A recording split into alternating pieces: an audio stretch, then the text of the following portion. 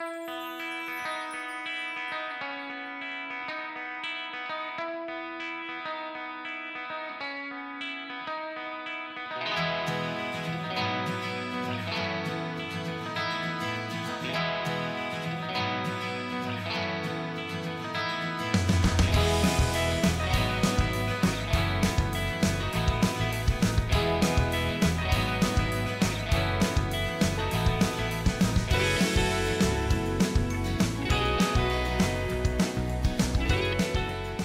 Welcome to Talk of the Town with Dick Thurston, Town Supervisor.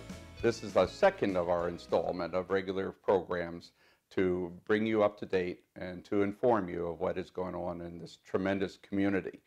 Uh, during the first part of this program, I will be talking about some of the wonderful things uh, that we have initiated you know, for the first time within the town to bring a greater sense of community and recognition that the town of Wappinger does in fact exist and we're not just a Wappinger Falls post office box or a village of uh, or town of uh, Fishkill post office uh, address. You know, in fact, you know, we are a, a proud community of a diverse culture that is nearly 29 square miles uh, in size with over 100 miles of roads that are actually a huge number to plow or to maintain, you know, 284 actually to be exact. But this community is about its people and about our, you know, identity as the great town of Wappinger and our various uh, hamlets and village uh, and other communities that are here.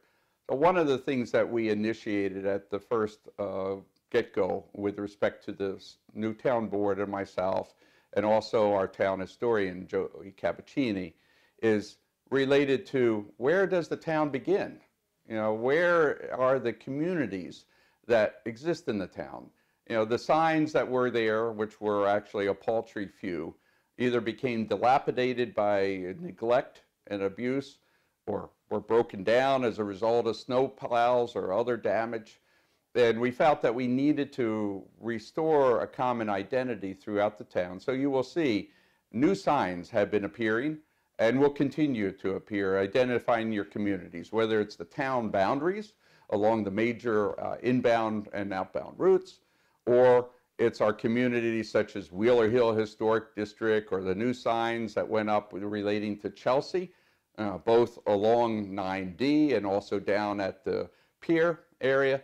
These are a number of the uh, initiatives. In addition, you know, we have been enhancing our uh, parks. Uh, for example, at Schlathaus Park, you know, we not only put in new signs that were in a sad state of repair and neglect because they weren't funded in the past, but also we have put in new siding, a new roofing, a new porch. There, we've also put in a new porch at the Carnwath uh, uh, Farms Administration Building. Uh, we've been able to do some of this with wise spending, budgeting of the town, but also, you know, as for example, out at Carnwath, with a lot of volunteer help. And it's enabled us to address some sorely neglected resources. For example, when it comes to arts and culture and identity, one of the most important assets that we have when it comes to this area is our sports museum.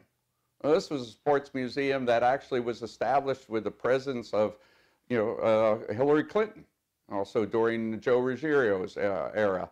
And it helped to bring an identity, but then due to periods of neglect, uh, lack of funding, you know, the sports museum had to close down. Now we're going to have a grand opening, reopening, in April of this, uh, May, I'm sorry, May of this year. Getting ahead of myself. Uh, April is when our web uh, site is going to be released. So this is one that will have a lot of uh, you know, publicity you know, related to and hoping that we'll get more.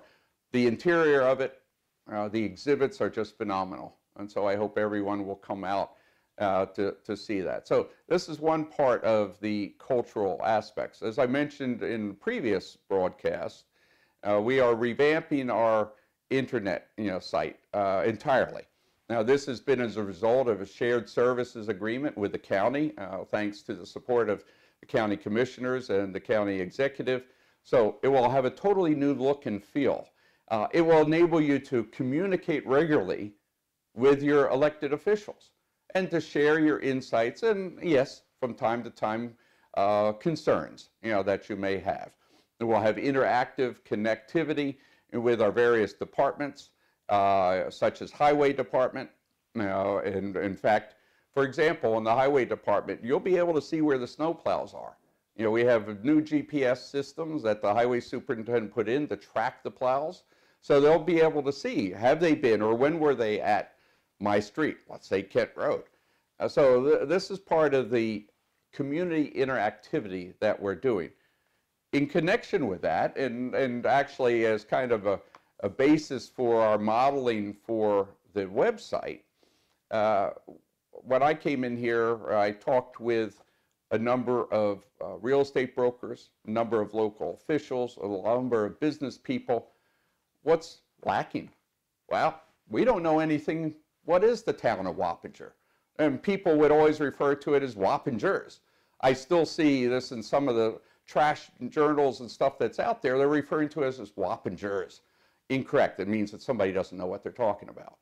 So what are we doing? Well, I already mentioned a few things, you know, but another one of the initiatives is that uh, myself, uh, with Donna Lenhart and also Joey Cavaccini and others in Town Hall, all of the Town Hall staff and elected officials have been involved in this, creating this new publication uh, that we've copyrighted and are releasing now, you know, which is a brochure.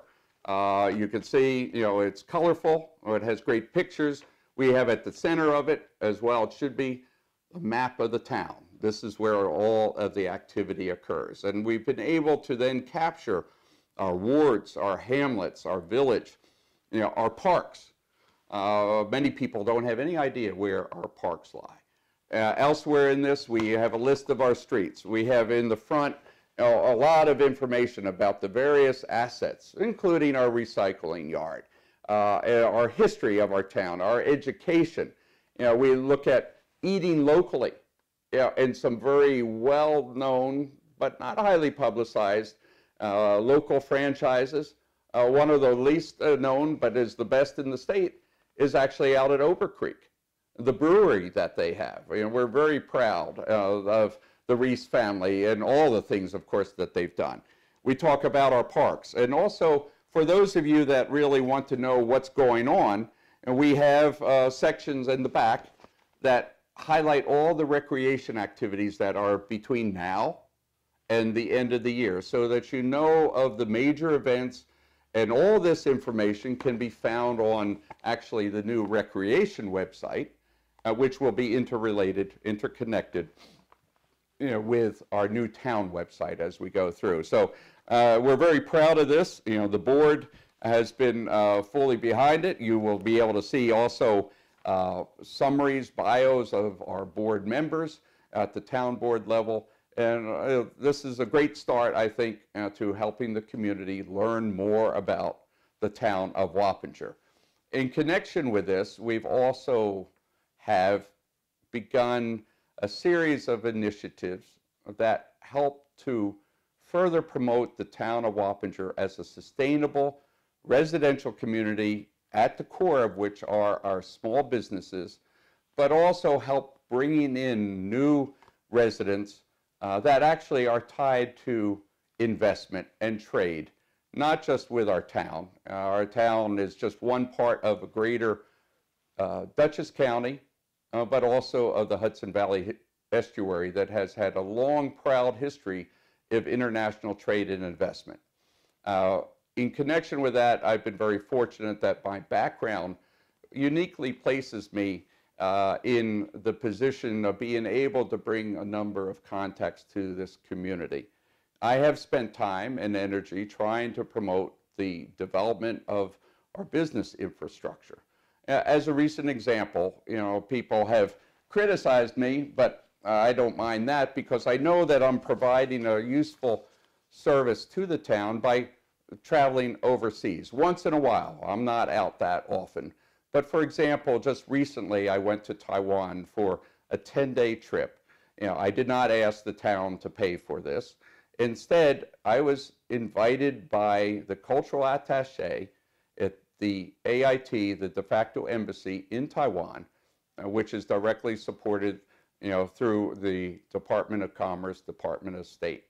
Uh, during that visit, I was asked, again, at the invitation of AIT Cultural Attaché, to go and present a series of lectures and meetings with Taiwan high-tech industry to invest in the United States, but particularly to invest in our great Dutchess County.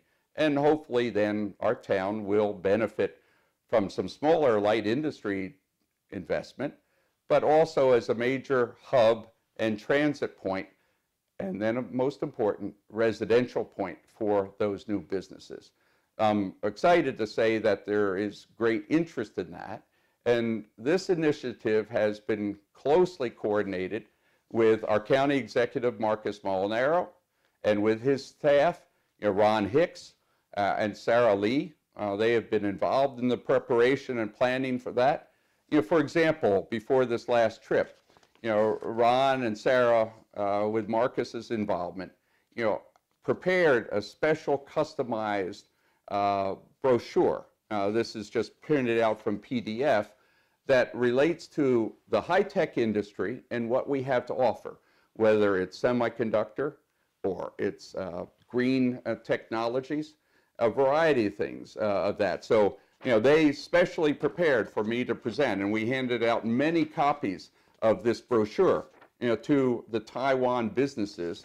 And as a result of that, you know, we believe that sometime in June, later this year, there will be a trade delegation that comes to New York, and hopefully we can get them interested in coming up to this area.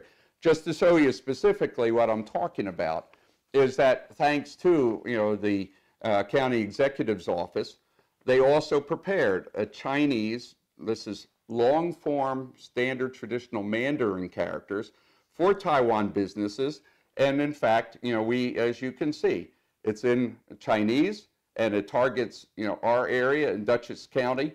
And this was specially prepared and has been handed out to a variety of businesses over in Taiwan to get them interested in our area, something that hasn't been done before. And I've been talking with the county executive and other officials uh, about the possibility of a small trade group that would be co-mingling with this. This is not about mainland China and all the things that uh, people are concerned about. No, this is about an ally of the United States that has deep ties and lasting ties in this area because of IBM and its residents that have inhabited our town. So we're trying to bring back something that also could help our Chinese-speaking people or our uh, Hindu-speaking people with important, meaningful jobs in this area. So this initiative is just part of the overall enhancement. You know, we are taking great efforts to make it known what the town of Wappinger is all about. And uh, the board uh, has been supportive fully, and we're going to have more of these types of initiatives in that promoting our infrastructure development, uh, promoting, you know, Route 9 in a reasonable manner. You know, recently we have an interest of a company coming in uh, to, uh, to a property but we also are taking care of making sure that our residents' concerns are fully comprehended in the course of this. So the good news is, is that we are getting Wappinger on the map. Uh, we may even someday be able to get a, a small other sub train station here in the town uh, so as to further promote us and the great cultural and historical you know, uh, values uh, that this community has as kind of the the uh, residential part of much of the business activity in our town.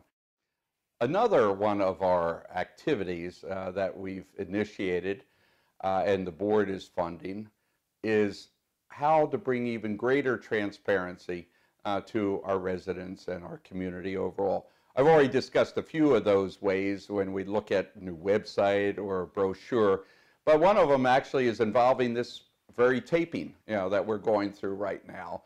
And that's where the board has you know, brought on board, uh, lowercase b, our uh, videographer, I'll call him, Michael Miner, and he has a production studio that is actually now taping not just this program, and others in the future, but is pro, uh, you know, is uh, video uh, taping the uh, town board meetings, the zoning board of appeals where the public uh, discussion is held, and also our planning board meeting to name a few.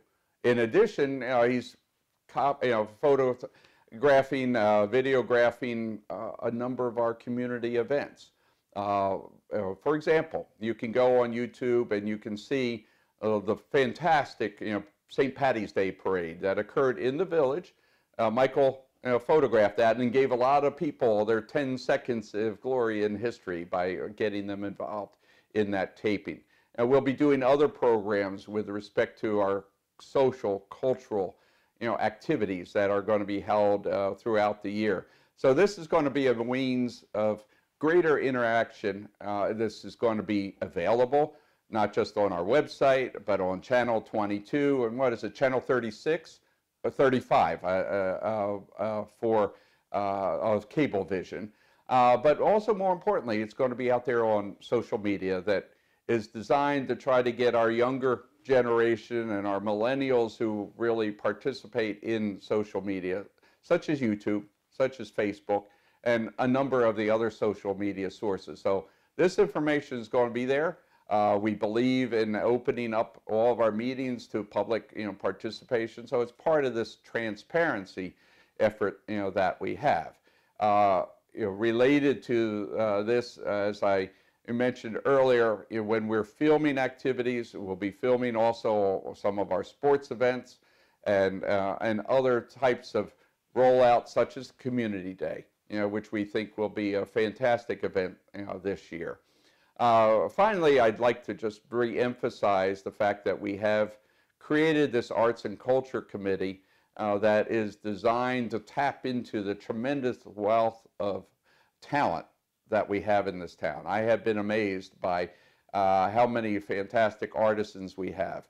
And we'll be doing a lot of different programs to help promote our artists. For example, we had our first ever major art exhibit in Town Hall uh, during Chinese uh, Lunar New Year's, where we brought local artists together uh, to show some tremendously talented, you know, artwork. We also have been now actively uh, sponsoring, uh, thanks also to Joey Cavaccini, uh, an annual exhibit in our Town Hall display case. we started with looking at African American History Month and now we're looking at the women's uh, and suffrage movement and we're going to be having other you know, promotions as well as other art exhibits for other different cultures through the town. This helps to enhance communication. And we were blessed during the art exhibit by a number of our executives uh, that attended such as uh, County Executive Marcus Molinaro. And we envision more of those both indoors and outdoors such as Carnwath. You know, we believe will be a major destination for arts and culture, let alone nature lovers, you know, such as also in Reese Park, you know, which has been sorely neglected by lack of funding in previous, you know, years. You know, we are now working on doing that revamping, including, for example, most of you didn't know, we have a beautiful pond there that freezes over in the winter and can be available for ice skating as one uh, example. So this committee, again, as I said, I think in my previous taping, I invite all of our artisans in the town to, to come. Let me know uh, who you are, what you're doing, what your interest is, and then we'll be able to build a database uh, going forward uh, that will be available to everyone to look at. Maybe we'll even be able to find a, a poet laureate for the town uh, or a composer in residence uh, because we do have that talent, believe it or not, talent. So I thank you very much for your attention. And again, if you should have any questions or like to volunteer, please stop by. You know, come see me or come talk with any of our elected officials, send in an email, or when we get the new website on, you'll be able to communicate it with us almost minute by minute. So thank you very much. Uh, I, I look forward to continuing to service you uh, in the months and years ahead. Thank you.